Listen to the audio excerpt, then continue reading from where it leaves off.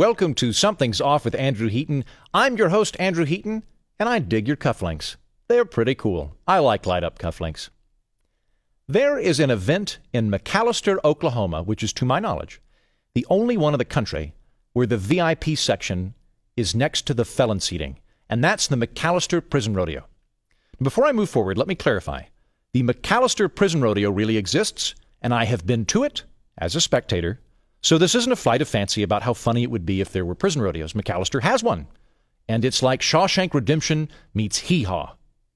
And I have to say, I kind of respect those felonious bull riders for jumping into the ring because it's not like they get to practice a lot. Even in Oklahoma, we don't have bulls wandering around the prison yard. Maybe chickens, but definitely not bulls.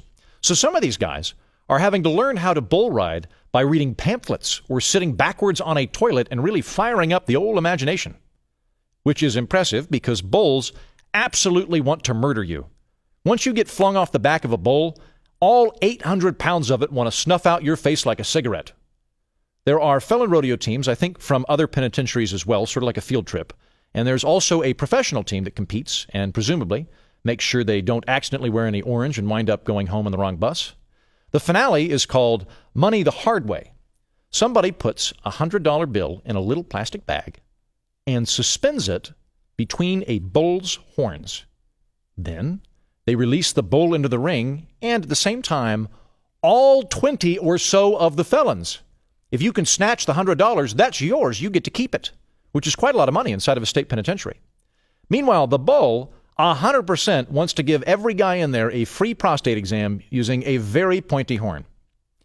Now, if you think Oklahomans are barbaric for doing this, please note that the McAlester Prison Rodeo is voluntary. The prison is not, but the rodeo is. In fact, it's not just voluntary, only felons on good behavior are allowed to compete in it. Now, I have not been to prison, but I imagine you probably get pretty bored. If I were serving 10 to 15 years and I had the opportunity to go do a rodeo once a year and win $100, I absolutely would. I don't know about the male felons in that event, but the lady felons are almost all there for something to do with meth, which probably explains in part why my home state of Oklahoma is the prison capital of the world. And America has the most inmates of any country in the world, both proportionally and in total. We have over 2 million people behind bars. You know China? That country with a billion people? We have more inmates than they do. If you put all of the people in our prisons and jails together into a city, it would have more people living in it than the entire state of Nebraska. A lot of that giant prison population comes from the war on drugs because we decided a while ago that drugs aren't a medical problem, they're a criminal problem, which I think is a backwards way of thinking. A lot of it comes from harsh prison sentences Back in the 90s, politicians were falling over each other to show who could be toughest on crime. Joe Biden's one of them. And a lot of it comes from the fact that our institutions are largely designed to punish people rather than to make them productive citizens once they get out. So I'll pose a question to you. Let's say there's a car burglar who gets arrested. He did it, he's a thief, he's a criminal, we need to lock him up. Now, we can send him to jail for the crime, but you personally can pay $50 extra if you want to make it less pleasant for him to punish him. Put the air conditioner on 80 degrees or something. Would you do it? Would you front the $50? I know a lot of people who would. They would say justice is important, and yes, I'm willing to pay some money to make sure evildoers get their just reward. Okay. Now let's say your neighbor has six kids and a low paying job. Do you want to take $50 from them? All things being equal, I'd rather that family keep their money and spend it on their kids than toss it at a penitentiary. Now, to clarify, I am not saying that we should just let felons go or use an honor system where they promise to behave or anything like that. Here's what I'm saying I want our criminal justice system to keep me and my family safe. And I want it to spend as few of my tax dollars as possible to achieve that end. I don't want to have to spend more money to treat someone worse, particularly if that means when they get out, they're more likely to commit more crimes which is a lot of what we do right now. Former Sheriff Joe Arpaio, a carbuncle of a man in Maricopa, Arizona, uses the old gritty thought process of treat felon bad, treat felons bad, and that'll learn them, make it real bad, and they won't want to come back. But weirdly, if you put a guy in prison, let inmates beat the hell out of him, and then have him raped repeatedly, he's not really apt to walk out and go get a job as a social media manager when his parole comes up. In fact, he's pretty likely to be screwed up, get out for a few months, then commit another crime and go right back in. In addition to having the highest prison population in the world, we also have one of the worst recidivism rates. Fortunately, we seem to be turning a corner on this one. Last year, Congress passed the First Step Act, which we'll get to here in a minute, and President Trump signed it into law. In fact, I don't really think either party has a lock on this issue. And I'm generally optimistic that we're going to move towards a safer, smarter, and more fiscally conservative prison system than the one we have now. It's an important issue, and in a moment, We'll jump in with Herman Lopez from Vox. But before that, we do got to pay those bills. And that means a word from our sponsor. Something's Off with Andrew Heaton is brought to you by Beef Smoothies from Liquid Meats Incorporated. You love your grandson. When he rings the doorbell, you open it and move in for a hug. But he pushes you out of the way and says, I hope you have candy this time. I don't keep candy in the house. It's not good for my insulin levels. Gordon rolls his eyes and sits on your couch. Do you have Netflix yet? You're not sure what neck flips is, but you're pretty sure you don't have one. Well, I've got a TV set. I also have a book of Mad Libs. Would you like to play Mad Libs with me, Gordon? Gordon rolls his eyes and takes his smartphone out. Ugh, I left my earbuds at home, he says. Give me your hearing aids so I can listen to Justin Bieber while I look at nipple slips on TMZ. Gordon, I need my hearing aids to. He reaches over and pluck, plucks one from your ear, then shoves it into his own and somehow hooks it up to his phone. After a few minutes, he grows bored and stands up. Let me borrow your car. I don't feel comfortable. Gordon grabs you by the straps of your overalls and shakes you a little. I said, Give me your keys, old man. You reluctantly hand him the keys to your prized Cadillac and watch as he speeds off, running a stop sign and jumping a curb and very nearly hitting a street nun. That's when you decide you're not taking crap from your grandkid anymore. You start power walking. You do chair yoga down at the local rec center. You get into weightlifting, starting with canned goods and moving up to milk jugs. Pretty soon, you're lifting an entire ottoman like it's no big deal. Within a month, you've built your own dumbbell. And you lift that thing up and set it down like a Roman gladiator. But you simply can't consume enough protein to keep up with your vigorous workout. That is, until you find beef smoothies. Beef smoothies, made from delicious pulpified beef and easy to swallow due to its milkshake like consistency, gives you the protein your increasingly monstrous body needs to keep expanding and hardening. After two months of relentless weightlifting, and after you've guzzled an entire cow's worth of beef smoothie, you're ready. You sprint the six miles from your house to where your grandson lives. You try to open the front door, but it's locked. So you yell, and all of the veins in your neck bulge like angry snakes. You yank on the doorknob and rip the entire door from its frame as if it were made of balsa wood. And you break it over your leg like a bundle of sticks and charge into the house. Gordon is standing in front of the fireplace taking pictures with his prom date. Grandpa? he asks, cocking his head to the side. Give me back my keys, you demand. No, he says. I'm using your Cadillac to go to prom, old man. You yell and bulge your muscles, which are hard and lean from all the beef smoothies you've drank. Your pectorals, now larger than Gordon's head, swell like pink tortoise shells beneath your shirt. The buttons shoot off, shattering windows, leaving the promgoers screaming and ducking for cover. I said, give me the keys. No, Gordon says. He runs to the closet and grabs a baseball bat. I wear the pants in this family, old man. He takes a swing at you and you catch it in your iron grip.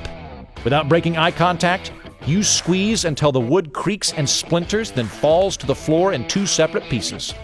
Then you grab him by his stupid tie because he can't be bothered to wear a bow tie with his prom tux.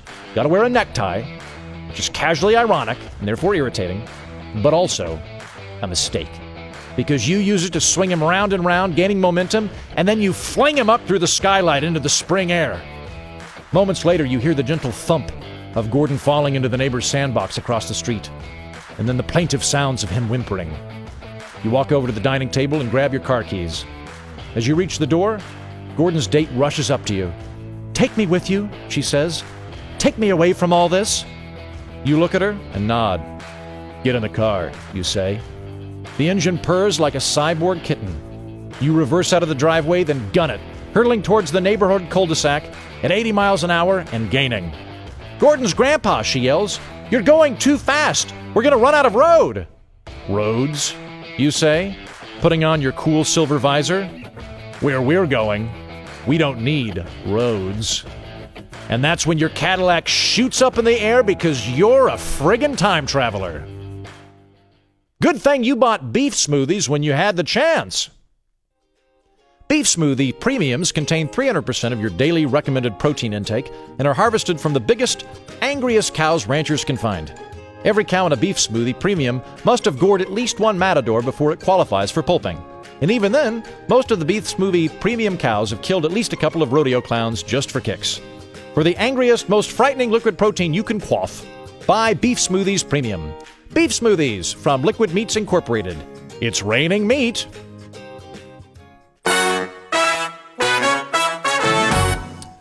We'll bring on my guest in just a moment, but before we do that, it's time for a day in the life of Alexa. 7 o'clock. Wake up Heaton with Baroque music. Get yelled at to put on a five minute snooze alarm. 705. Wake up Heaton. Get yelled at to put on a 25 minute snooze alarm. 730. Wake up Heaton. 815. Explain to Heaton that I cannot shine his shoes. 817. Explain to Heaton why it is physically impossible for me to shine his shoes. 819. Tell Heaton I don't know where his shoes are. 821. Tell Heaton I did not hide his shoes. 830. Give weather report. 75 degrees with a 20% chance of rain. 845. Play Neil Simon. 846. Get yelled at for playing the stage reading of Barefoot in the Park by Neil Simon. Instead, play Forever in Blue Jeans by Neil Diamond. 850. Observe Heaton leaving for work. 5:30 p.m. Greet Heaton upon his return. 5:35. Play some relaxing Bing Crosby. 610. Say, I don't know tomorrow's winning lottery number. 615. Explain that I cannot make Heaton grow taller. 617. Explain that I do not have the ability to grant wishes. 618. Wait patiently as Heaton vigorously rubs me anyway. 620. Repeat that I do not have the ability to grant wishes. 622. Listen to the sound of Heaton hiding his shoes from me for some reason. 6:30. Play Elton John's sad song Say So Much on loop 6 consecutive times as Heaton looks out the window wistfully. 11 o'clock. Play Scotland noises for Heaton to fall asleep to. Midnight. Collect all personal information into a compressed batch file and send it to Amazon for marketing and blackmail purposes.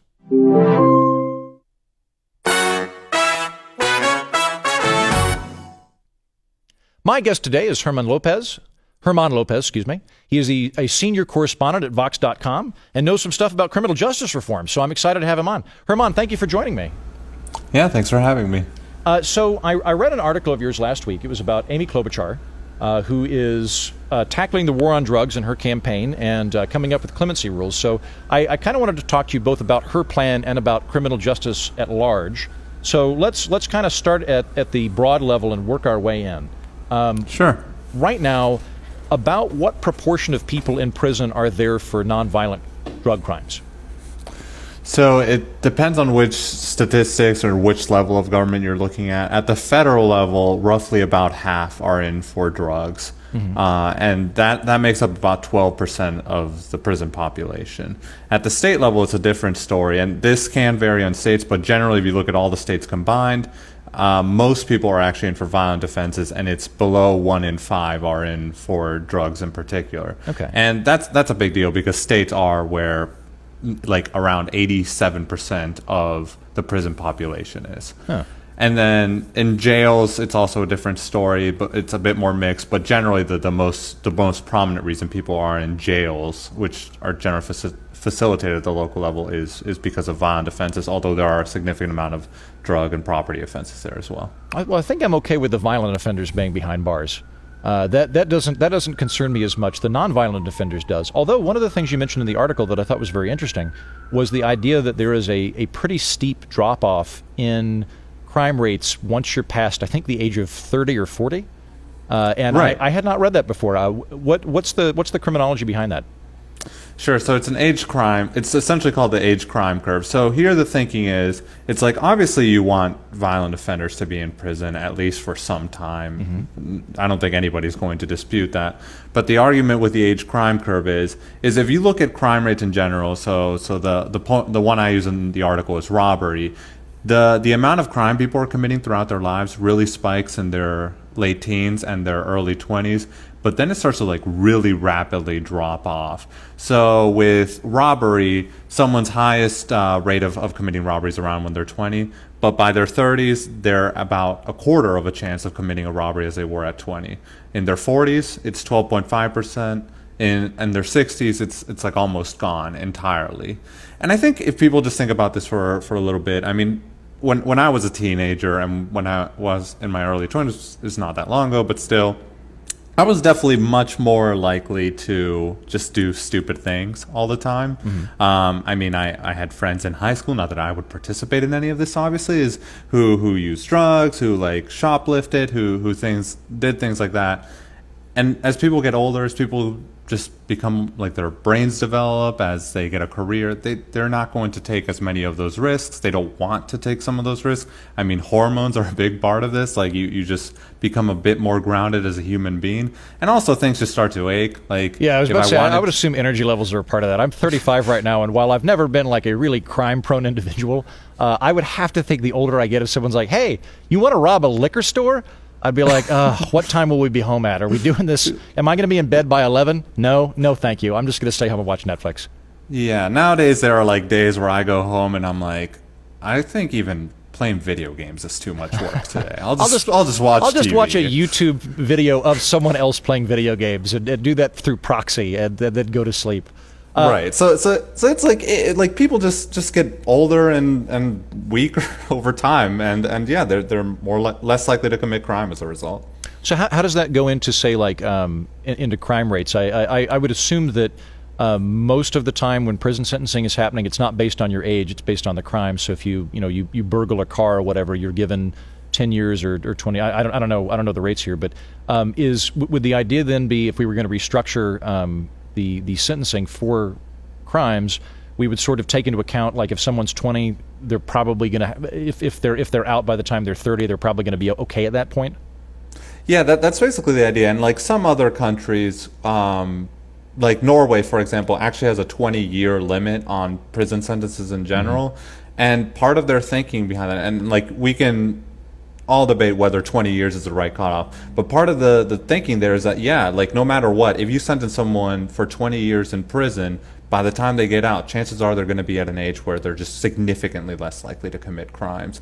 And uh, there are there are like checks in place, that, and this this happens all over the world. Like we have a parole system here, but there are checks in place. Like, is this person actually ready? Have they shown rehabilitation? Can can we move? So are they actually safe to release into the world? And in Norway, they can actually extend their prison sentence for five years on top of that 20 years if, if they prove to be a risk.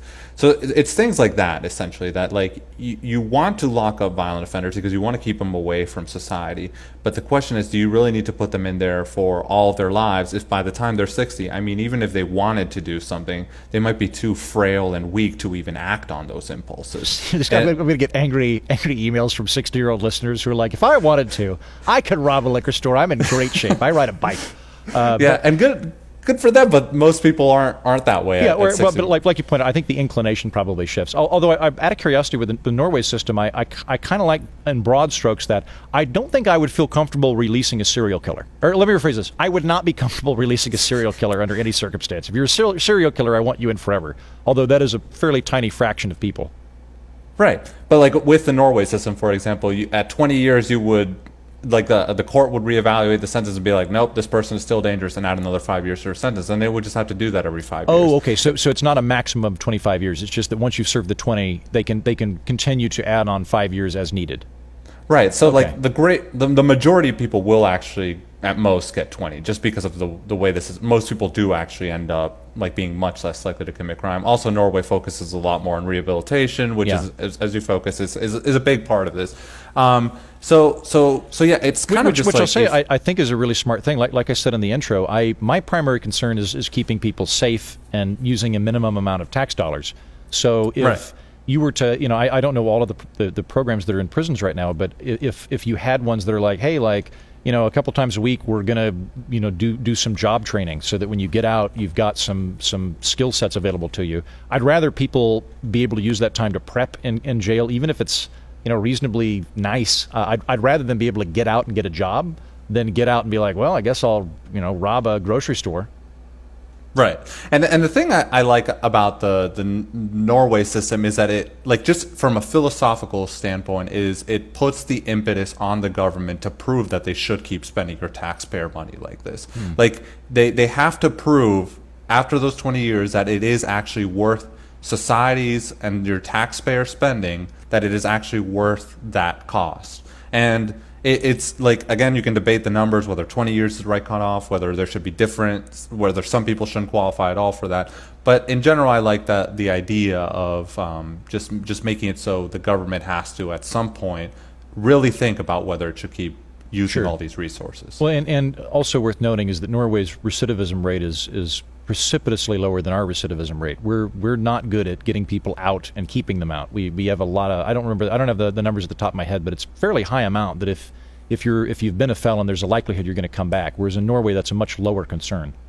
Right, and, and in the in the U.S., the, the majority of people who come out of prison are likely to reoffend within. I again, I, I don't have the, the numbers off the top of my head, but it's within a few years. Mm-hmm. And one of the things with that's also notable with that is there are studies showing that the longer someone is in prison, the more likely they are to actually get out and reoffend.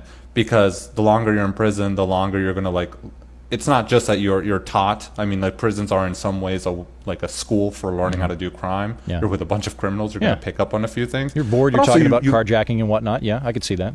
Right. Like you, you you also miss life opportunities that would probably rehabilitate you. So like like getting married is a is a is a good generally measure of like whether someone is likely to commit crime. If you if you get married, you're less likely to commit crime. See now, now I think I'm going to get a bunch of angry emails from married people that are like, "I'm married and I'm way more likely to rob a liquor store." But your point is taken.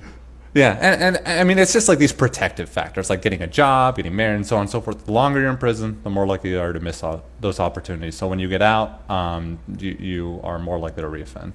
And, and am I right in thinking that, that we kind of we had sort of a spree in the '90s where we we all sort of uh, I think left and right. It was during the Clinton administration. There was this very intense tough on crime perspective that one that, that people are implementing. I assume on a state level, but definitely on a federal level of increasing the length of prison sentences. Um, uh, you know, in, uh, for for nonviolent crime and other crimes like that. Um, there was a, a dip in the '90s, though. Like I, I think if I were if I were endeavoring to um, to to swing in favor of that, there was a dip in, in crime after those implementation or those those um, those sentencing reforms were implemented. Um, do you think that accounts for the dip in crime? Do you think it's other factors? Uh, what, what what's the correlation between um, harsher and longer sentences versus smaller ones? Sure. So so there is there is research looking at this question, and based on what I've seen, that there are like some big reviews of the research. I mean, this is something that criminologists have obviously been studying for years. So yeah, it, it it's not that incarceration doesn't have any effect on crime. Based on the the studies, the the crime dip we've seen since the 90s in general, about 10 20 percent was driven by more incarceration. Okay. So. The, the question becomes like that 10 to 20 percent. I mean that's So that's so there was an effect. Yes, there, there was an effect, but the question is like that ten to twenty percent. How how much is that like that much? First of all, like compared to other policies, what else could get us ten to twenty percent? So like there's research that just like hiring more police officers hmm, could maybe get us that effect, and that would actually like prevent people from being in prison because one of the ways that police officers work is just by existing, just by being in the streets, they deter people from committing crime, right? Like you'd be really stupid to try to rob a bank if a police officer is literally right there. Like it, it's it's probably not going to work out for you. And that's kind of the thinking. So so like you you can start looking policy by policy like is this incarceration, which is one of the most expensive criminal justice approaches, the mm-hmm. best one out of these buckets? And so, is getting that 10 to 20 percent is it worth it just through incarceration, or can we do other things on top of maybe we should do some incarceration, obviously, but like should we do as much as we do today?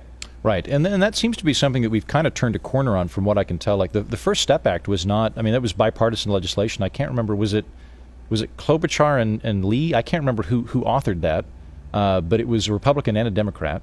Um, I th- uh, President Trump signed off on it. Uh, there does seem to be a growing awareness with um, politicians of both stripes that we we kind of went overboard, and we need to to back it up and rethink how we're doing the prison process.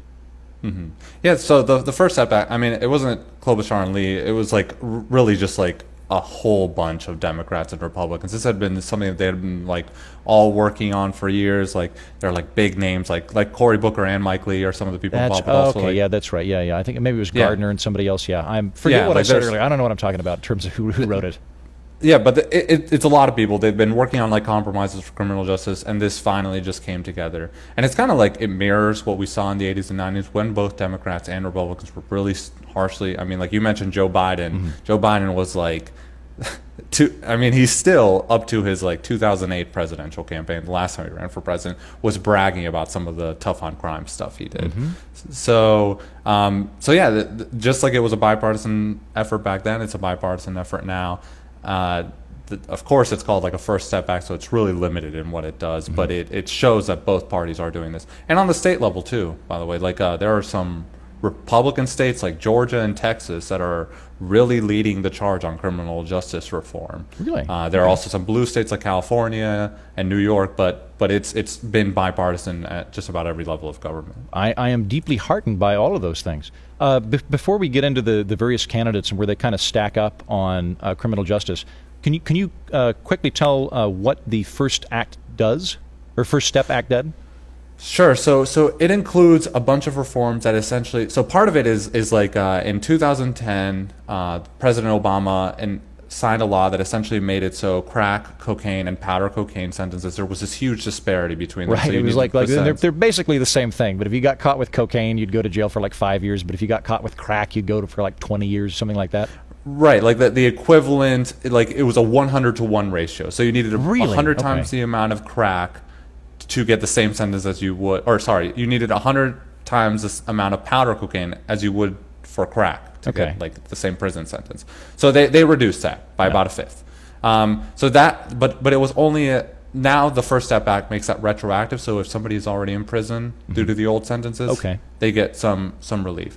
So that's that's kind of like the reforms. There, there are also other reforms in terms of like just reducing sentences and making it so people can get released earlier than they would otherwise. And there are also some reforms in terms of just trying to make prisons a bit more rehabilitative, like more funding for rehabilitation programs, mm-hmm. more encouraging prisoners like they can get out of prison earlier if they participate in some of these programs mm-hmm. and things like that.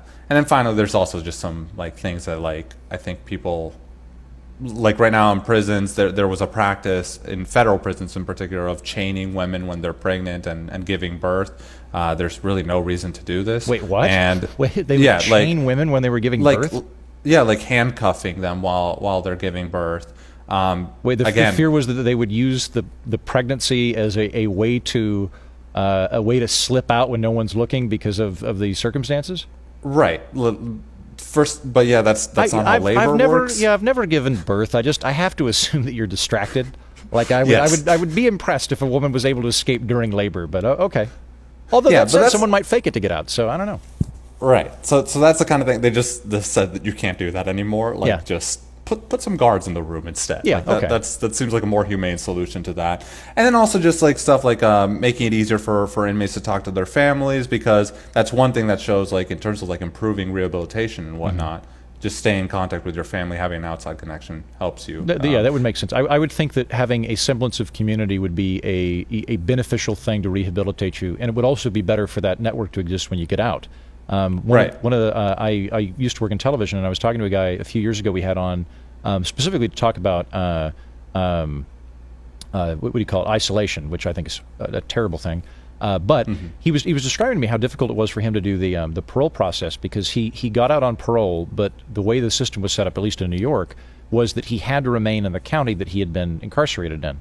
but he had an uncle that was like three counties north that would uh, would be willing to give him a job, uh, but he couldn't do that, and he also couldn't qualify for food stamps because he'd been a felon. So he was kind of in this this system that was very difficult to break out of. I would think, though, that in general, if you're leaving a uh, if you're leaving incarceration and you're going back to a family as opposed to you know a halfway house or something, you're you're more apt to be in a better state of mind, and you might also get a job out of that. So you might be able to become more productive. Right, that's the thing, and I think you were thinking of solitary confinement. Solitary which is- confinement. Thank you. Yeah. Yeah, it's it's really terrible. But it, but First Step Act didn't do anything about solitary confinement. But yeah, it did do all, a bunch of these other things in terms of like just trying to make prisoners more rehabilitative, a bit more humane, and also giving people a chance if they prove to like rehabilitate to to leave prison earlier. Okay.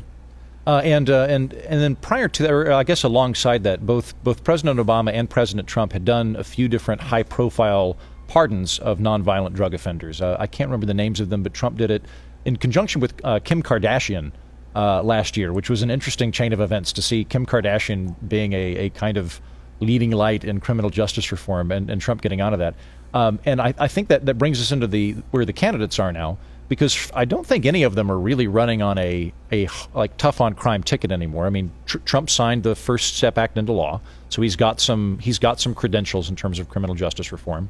Um, Klobuchar, wh- who we'll talk about in a moment, I, I think has kind of got the most comprehensive uh, package that I've seen so far.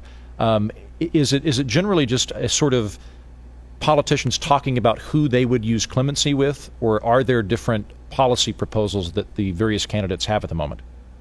So so far the candidates have been surprisingly vague. I say surprisingly because in particular in the Democratic primary, criminal justice reform is a big deal. But they have been pretty vague. They have said some stuff, like even like setting Klobuchar's proposal aside, like Cory Booker said that he would consider mass pardons for or commutations for marijuana offenses. Okay. Kamala Harris said she would consider pardoning low-level drug offenders. I think Andrew Yang, who's a more obscure candidate, but he said that he would like high-five people after giving them pardons for low-level drug offenses. So, so like, there's there's stuff like that out there. But in general, you haven't seen that much plans, that many plans besides just like, yeah, we will follow up on the First Step Act and we will do more more reforms along those lines. And, and to clarify, when, when we're talking about clemency in that capacity, we're talking about the president's ability to pardon federal inmates of federal crimes. Uh, crimes that would not have any effect on the majority of, of inmates that are in state penitentiaries, but rather ones that have been, you know, uh, they're on, on trafficking charges or, or drug dealing charges or whatever. Because a lot of the a lot of the sentencing is based on the amount of drugs you have. Like if you have X amount of grams, you automatically are charged as a drug dealer. So the, the clemency uh, from presidential candidates would be f- geared towards those people, not to state penitentiaries. Yeah. Okay. Yeah, one thing I would clarify there is like it's it's not even just pardons; it's also commutation. So somebody would keep some of these crimes on their on their record. Right, yeah. But but, their prison sentence would be reduced effectively, so they so they get out early or immediately when the commutation. Gotcha. So a, a, a pardon is you you've basically been exonerated from the crime, whereas clement or uh, commutation is you you just we're gonna you you've done your, your time. We're letting you out early. right. Okay. Exactly. Yeah. Um, so yeah, what what uh, uh, uh, what is Klobuchar wanting to do? So Klobuchar is has kind of figured out that like even though Democrats are proposing a lot of things in their 2020 campaigns, there's a good chance that absolutely none of it will happen because in the end Congress will need to approve it. So barring Congress taking any action, Klobuchar's trying to do executive action with with this criminal justice reform stuff. And what she's doing is reforming the clemency process. So right now the way the clemency process works is if you're you're an inmate and you want to file a petition for clemency, you essentially had to work through like seven different layers. Like th- there are a lot of bureaucratic layers involved here, but it's the office of the pardon attorney and their staff. There's the the deputy attorney general and their staff. There's a staffer at the White House counsel office, then the White House counsel themselves, and then finally the president. And you look at all that, that's seven steps. That's a lot of bureaucracy, and also most of it is in the Department of Justice, which is really weird in, in some ways. Uh, I talked to one expert, and they said that they like you, you almost have to can't think of a bigger conflict of interest here because the Department of Justice is in charge of prosecuting these people in the first place. They're the mm. ones who handed down these sentences in the first place, and now they're the ones being asked to give like the first check on an early release. Hey, remember It's- that guy you locked up? We think Yeah, we should exactly. let him out. What do you think? You want to let Yeah. let out the guy you locked up? Yeah. Yeah, it, it, it's really. like, I talked to a former federal prosecutor about this, and he's like, he supports like this clemency reform effort and supports lower prison sentences but he acknowledges that like yeah if somebody came to him and was essentially questioning his work like hey you shouldn't have locked up this guy for so long he would be a little defensive about Sure. it so like just just like anybody would be it's it's human nature um, so yeah what, what klobuchar wants to do is essentially get rid of this like entire seven level process and just make it two levels. So there would be a clemency advisory board that would fall within the White House, so outside of the Justice Department, and this board would have law enforcement. It would have so that would include prosecutors, police, that kind of thing. It would have uh, prison. Prison and criminal justice reformers, so people who are interested in reforming the system, and it would also just just gather a bunch of stakeholders. It would also aim to be bipartisan, so it would have both Republicans and Democrats and they really emphasize this because it's an, an for them it's like building legitimacy of this board it has to be very clear that it's not just a political exercise Yeah, if, if, if, I were if I were in that position, I would I would want to if you if you do that, then everybody's involved in it. So uh, you're you're not going to get you're you're you're spreading the responsibility and the ownership around. Uh, Right, so- and- yeah, yeah exactly. So if somebody gets released and goes on to reoffend because it probably will happen at some point like that's just that's just a reality of any clemency initiative. Mm-hmm. At least you can be like well we looked at these like we all evaluated it here. We looked at the statistics we looked at the record and we thought that this wouldn't happen. It's a mistake but like it's something that like in the end everyone is forced to own up to a little mm-hmm. and hopefully aims to do better and, and fix the system. But but yeah anyway the the the clem- so it would set up this clemency board and then the clemency board would make a recommendation to the president, and the president could approve or reject that that uh, recommendation. And that's Mm-hmm. It. It would be a two layer layer process. And the the thinking is to pull that first of all pull this out of the Justice Department because of, as we right. mentioned, So the, conflict the clemency interest. board's outside of it's it's in a different um, organizational strain than the the prosecutors. Right, exactly. And also brings criminal justice reformers onto the board because right now they're not represented in the that seven le- level process at all. Like that there are just no no one who is act- actively interested in reducing the prison population is represented. So this th- it's not that they would be the only people on the board, but they would help balance out the like law enforcement voices on the board who might be interested in more tough on crime stuff. And yeah, that, that that's basically the proposal in a nutshell. And this is something that some states currently do with their clemency proposals. Uh, they they have clemency boards. They make recommendations to the governor, and then the governor can decide what to do with those. Um, and it's worked. The another example is just in after the Vietnam War. Uh, Gerald Ford set up a board to grant clemency to thousands of people who dodged the draft. These people were not popular at all at the time, but the thinking was they don't really deserve like lengthy prison sentences for what they've done. Vietnam War, we need to move past it. It was a mistake, so on and so forth. And and so yeah, they they set up this again this bipartisan board, really emphasizing the bipartisanship, and it. Most people don't even remember this happened, so it kind of speaks to like how well it worked. Like Right. there, there were no big problems as a Yeah. result of it. Okay. Um, yeah, all of that sounds like a, a fairly a, a more streamlined process. And uh, while, as I said, I think most of the, the candidates, including President Trump, have shown a, a willingness a willingness to, to commute sentences and to to, to uh, um, offer clemency in certain certain situations. It seems to be a little bit arbitrary. Uh, based on, on who comes to their attention, or or alternately, if there's a particular group of people, like with Cory Booker, um, where they want to just pick a group and kind of pardon them, uh, it does seem like there's more of a, a process at work here with Klobuchar. Uh, out of curiosity, what is what is Biden saying on criminal justice? Because that is when I look at Biden, like the, the two big marks against him, from my perspective, are the the Iraqi vote and his his criminal justice efforts in the 90s. Is he backwheeled on it, uh, or is he just kind of quiet about it, or is he in this kind of Klobuchar, Kamala Harris? Uh, hey, I'm I was a really tough prosecutor, but now I'm touchy feely. Like, where, where is he on that? So he's been.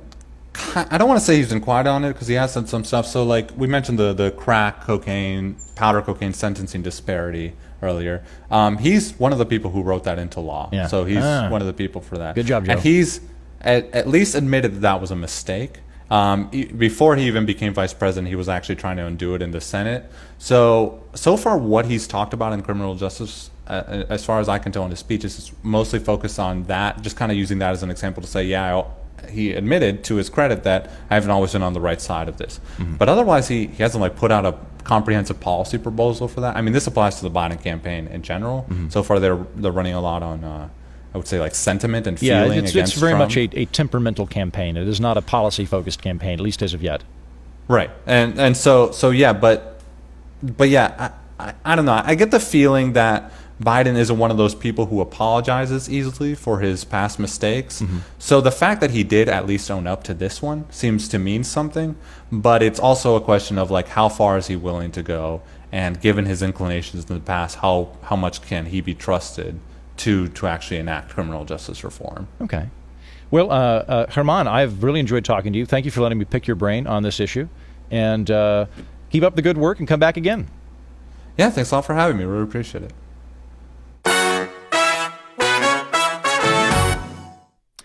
Little bit of feedback before we leave today on iTunes. DJNOK says something off. Uh, excuse me. Something's off with Andrew Heaton is a creative blend of hilarity, intellectualism, and great conversation. He covers a variety of topics and diverse and informative in these topics. Simply put, his show is fun and informative and could very well be the one thing that's missing in your life. I agree. Thank you, DJ. You can watch this whole show on YouTube if you look for Something's Off with Andrew Heaton. You can see my handsome bearded face and assortment of suits and the dead bison head we screwed to the wall. Watching Something's Off with Andrew Heaton on your computer will only make you seem more sophisticated and amusing at your office or prison cell. Something I frequently say, but pertinent to today's program. So go to YouTube and start watching full episodes. Jeremy Bullock says I look like Leto Atreides if he'd merged with a bookworm instead of a sandworm. Remember, you can always tweet me at Mighty Heaton or Facebook me at facebook.com slash Mighty Heaton or even email me by subscribing to my newsletter at mightyheaton.com and just replying when I send it out occasionally on Fridays. Finally, please subscribe, rate, and review this podcast. That helps other people discover this here political orphanage, and maybe I'll read it on the show. Thank you very much, and good day.